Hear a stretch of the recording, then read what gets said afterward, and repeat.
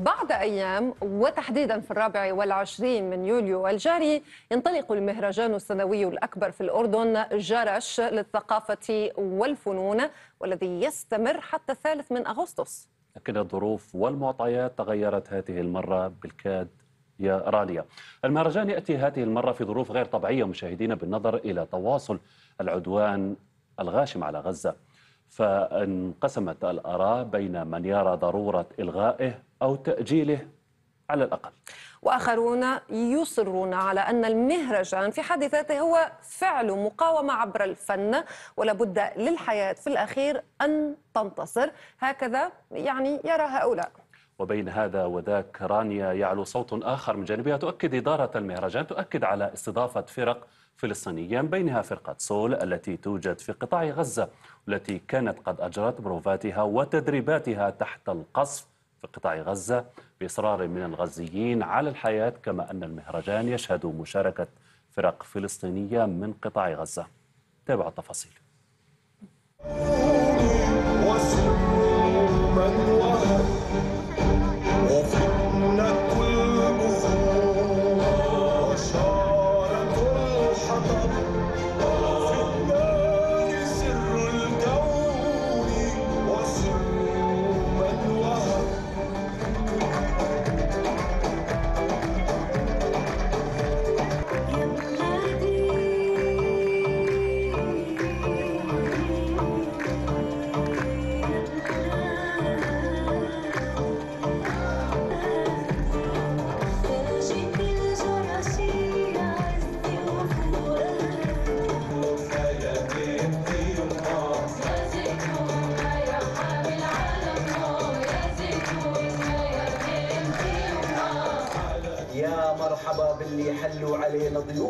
كل الغلا والحب بقدومهم مصروف.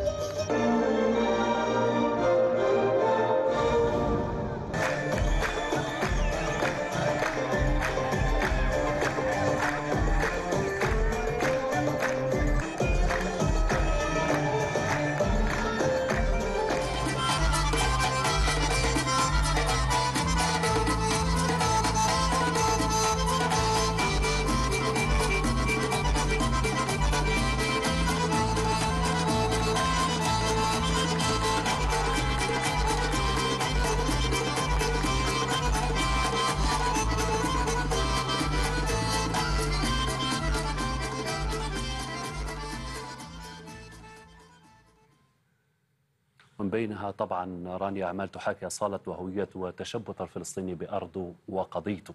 بالإضافة مشاهدينا إلى جدل اختلاف الآراء بين مؤيد ومعارض لإقامة المهرجان أثارت هذه المرة الفنانة التونسية صوفيا صادق أثارت جدلا آخر وهذا بعد اعتذارها يا رانيا عن الغناء في جرش. نعم المطربة التونسية كانت قد نشرت بيانا مطولا مخاطبة إدارة المهرجان وأبرز ما جاء فيه يسرني دعوتكم لي لحضور هذا المهرجان العريق الذي يعبر عن أصالة الأردن والذائقة الفنية الرفيعة لشعبها الحبيب. إني على ثقة بأن القضية الفلسطينية ستكون حاضرة بقوة ومع ذلك أرجو منكم تقبل اعتذاري عن الحضور هذا العام لأسباب تسلبني قدرتي على الغناء وأطفال غزة وشيوخها ونساؤها ثكلى بدموعهم التي تحاصرهم هذا إذا رانيا عن المطربة والفنانة التونسية صوفيا صادق لكن ماذا عن الرد؟ إدارة المهرجان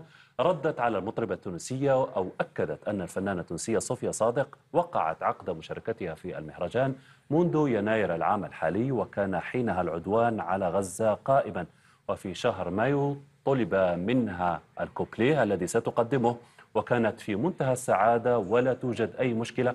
هذا طبعا حسب إدارة المهرجان. وعلى كل لتوضيح الأمور أكثر ولمعرفة تفاصيل أكثر عن برنامج المهرجان ونظرة إدارته إلى كيفية إقامته في ظل العدوان المستمر على غزة نرحب بضيفنا في العاصمة عمان السيد أيمن سماوي المدير التنفيذي لمهرجان جرش للثقافة والفنون. مرحبا بك سيد أيمن معنا.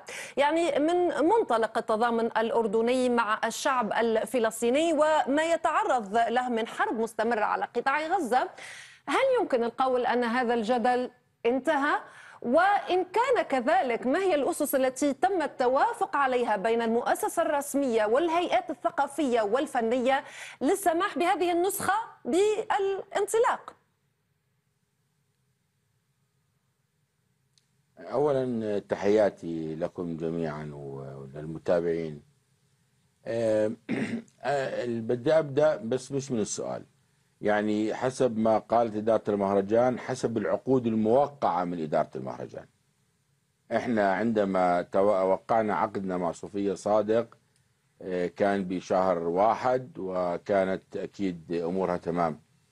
وبعد ذلك تواصلنا و يعني أنا حكيت في هذا الموضوع كثير بس طيب هي يعني هي وقعت العقد في في يناير. بدم الشهداء. هي وقعت في يناير ونحن اليوم في شهر يوليو ومن حقها أن ترفض أو أن تعتذر عن عن الحضور في الأخير. من كيف من حقها؟ كيف كيف من حقها أن تعتذر؟ يعني كانت غزة قبل شهرين موجودة وهلا بطلت؟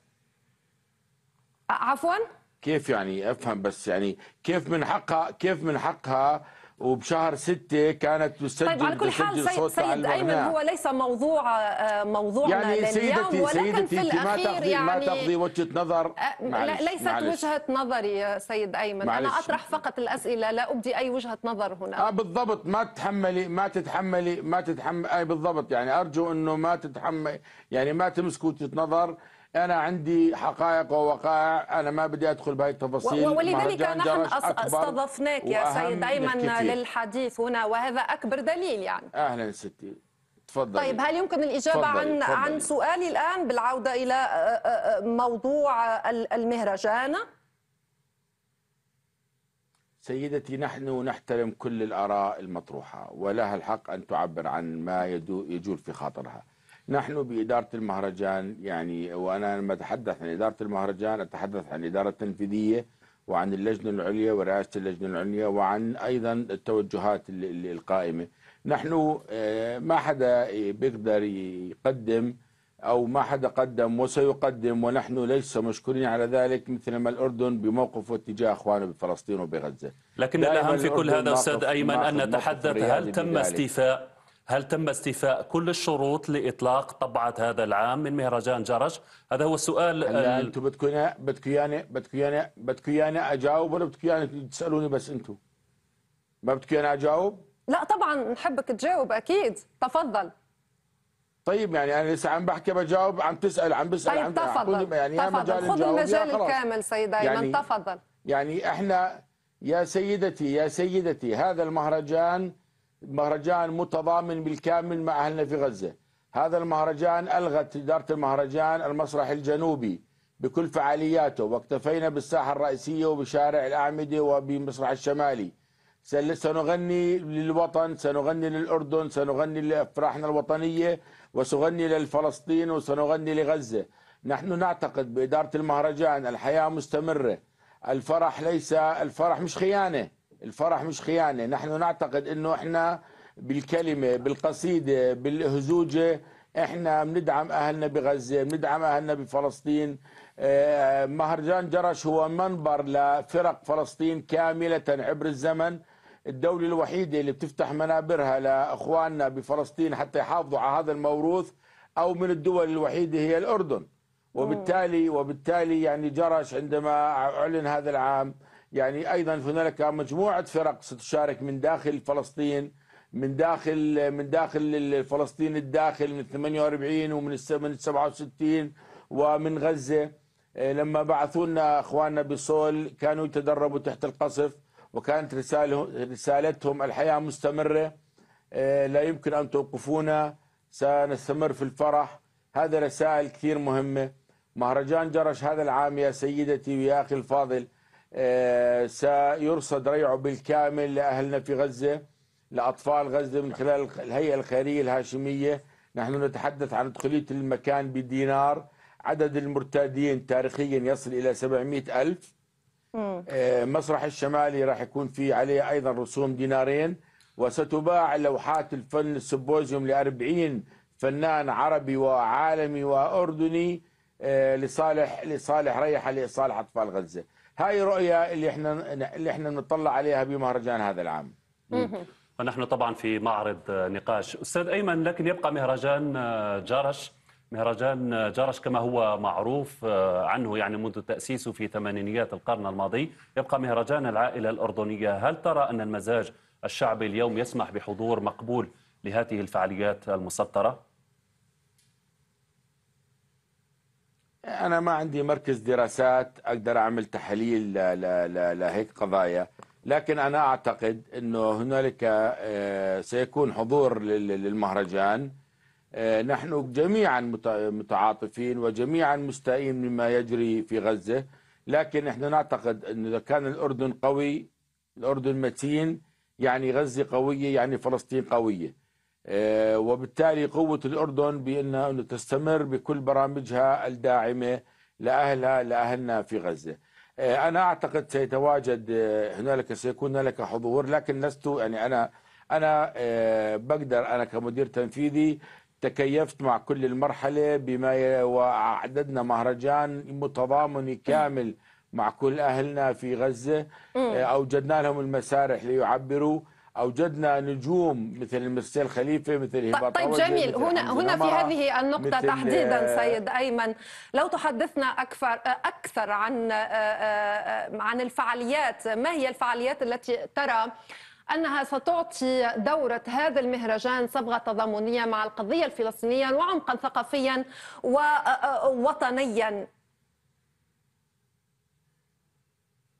سيدتي أنا اولا كل أو تقريبا 99% من مطربين الأردنيين سيجدوا بأصواتهم دعما لأهلهم بغزة وأيضا للتعبير عن محبتهم ودعمهم لكل قضايا الأردن واحتفالاته الوطنية. اثنين مشارك مش وأنا أتحدث من عمر العبد الله لكل مطربينا اللي بنحن لهم كلهم احترام كل احترام مش أقدر أذكرهم بالاسم لأنهم كل يعني كثر. المسألة الثانية هنالك أيضا البرنامج هناك سناء موسى هنالك آه، فرقة صول هنالك آه، فرقة آه، من حيفا قادمة هنالك مرسيل خليفة هبة طوجة فايا يونان حمزة نمرة هنالك إنتاج ثلاث ليالي لإحياء ذكرى فارس عوض ومتعب الصقار وتخليد الصوت الكبيرة سميرة توفيق. هنالك آه، آه، مطربة أو مغنية أوبرا. آه، هنالك من من من الإمارات هنالك زيد ديرانية بكونسرت كبير. هنالك مطربين الأردنيين. إذا بتلاحظي البرنامج هو برنامج وطني بامتياز. سنغني للحياة سنغني للأرض سنغني للسلام سنغني للمحبة سنغني لفلسطين سنغني للأردن سنغني للعروبة. آه، إلغاء مهرجان جرش للمسرح لمسرحه الجنوبي هي رسالة تضامنية كاملة. كلكم تعلموا كم هي رمزية هذا المسرح وهو المسرح الأكبر في جرش عندما تغلق لأول مرة. من 40 سنة أبوابه هي رسالة أيمن. تضامنية بالكامل مم. مع كل ما كل ما يصير مع أهلنا بغزة مم. أستاذ أيمن أشرت إلى نقطة مهمة جدا يعني تحدثت عن إلغاء حفلات المسرح الجنوبي وهي بالعادة آه، يعني آه، حفلات لمحتلي قمم من نجومية الغناء العربي للموسم وهي الحفلات أيضا التي ترفض صندوق المهرجان ببعض الأرباح لكن السؤال الجوهري هنا كيف سيتم تعويض هذه الخسارة طبعا نتحدث بالمفهوم الاقتصادي خصوصا وأنكم أعلنتم عن مجانية الفعاليات. هذا من جهة. وطبعا آه، آه، آه، كنت قد أشرت في معرض كلامك أنه الكثير أو ريع الكثير من الفعاليات سيذهب إلى اللجنة الخيرية الهاشمية وهي الجهة, الجهة عفوا المسؤولة عن إيصال مساعدات الإنسانية لقطاع غزة. هل لك أن تفصل في هذه النقطة؟ آه طبعا طبعا. اولا يعني مثل ما تفضلت حضرتك كل الريع مش جزء كل الريع المتأتي لهذا العام من الدخول إلى المسارح أو إلى الساحة العامة أو المبيعات المترتبة من آه، لوحات السبوزيوم ستذهب بالكامل من خلال الهيئة الخيرية الهاشمية لأطفالنا سواء كانوا المقيمين في المستشفيات الأردنية أو حتى آه، بأشكال مختلفة من المساعدات لأهلنا في غزة. نعم أقفلنا المسرح الجنوبي لكن يعني هذه الدولة الأردنية أكيد قادرة على أنه آه، تدعم صندوق المهرجان بما آه، يغطي كل هذه التكاليف وكل هذه إذا إذا إن توفرت هذه العجوزات. آه، مهرجان جرش يمتلك شراكة أيضا مع القطاع الخاص. هذه الشراكة يعني ممتدة آه، ونحن دائما حريصين على أن نكون علاقتنا مع شركائنا من القطاع الخاص شراكة متينة. بأكد لك أنه بالرغم من كل ذلك فلسطين وغزة تستحق منا الكثير لكن نحن لما ال- على آه، هذا المهرجان آه، أعلنا لأنه لأنه نريد الحياة نريد الأمل آه، نريد ال- التضامن نريد أن نعبر عن إحنا ف- كعاملين بهذا الوسط وك- وكفنانين وموسيقيين.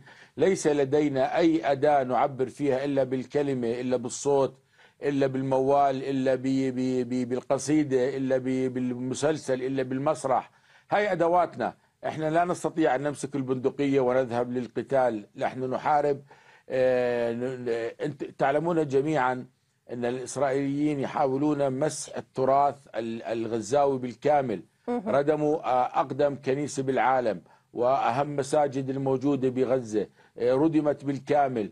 هل نسكت ولا ولا ولا, إحنا ك- كمنابر ثقافية مهم أن نتحدث عن ذلك؟ صوت نتحدث هنا. في نعم طيب ستتحدث عن طيب س- سيد آه، أيمن والقصيدة ذ- طبعاً ذكرت عندنا يعني- القصيدة عندنا هشام- الشعر هشام هنا الجوح. يحضر بشكل لافت في هذه الدورة ما الذي يضع صحيح. ال- الشعر هذه المرة في قمة اهتماماتكم؟ آه، معلش تسمحي لي سيدتي نحن تاريخيا جرش له برامج الثقافي المتميز. لكن للأسف نذهب دائما نحن وكل من يغطي المهرجان إلى الحفلات. مين جايبين هاي السنة؟ مين المطرب اللي جاي؟ مين المطرب اللي جاي؟ ما حدا بيسألك مين الشعر الجايين. إحنا دائما نحتفل بالشعر بشكل كبير ودائما يتواجد عندنا بين 440 ل 150 شاعر أردني وعربي وعالمي حتى. هاي السنة لأنه إحنا بس أعطينا شوية إضاءة على هذا البرنامج. هاي السنة أيضا عندنا مؤتمر الفكر الفلسفي سنستضيفه بجرش. عندنا مهرجان المونودراما عشر مسرحيات مونودراما من فلسطين أحدهم موجود هذا العام. هذه هذه السنة ذهبنا إلى الجامعات من أقصى الشمال لأقصى الجنوب بأمسيات ستتحدث عن حقب ب- بحكم جلالة سيدنا بال 25 عام. وسنلقي الضوء أيضا على هذا التراث. كيف لنا أن نتعامل مع هذا مع هذه المحاولات لمن- لمنح التراث لمحي التراث الفلسطيني أو محي أو محي التراث الغزاوي تحديدا؟ ردموا كل شيء. يدعوا انه الفلافل اكلتهم الشعبية يدعوا انه التبول هاي أبسط الأشياء. عم بيحاولوا يشتغلوا نعم. مش بس على على على تطفيش البني آدم. و- و- عم بيشتغلوا على ال- الموروث على الإرث على الثقافة تبعتنا وينسبوها لهم مهم. وصلت الفكرة السيد أيمن السيماوي المدير التنفيذي لمهرجان جرش للثقافة والفنون. كنت معنا من العاصمة. عمان شكرا جزيلا لك.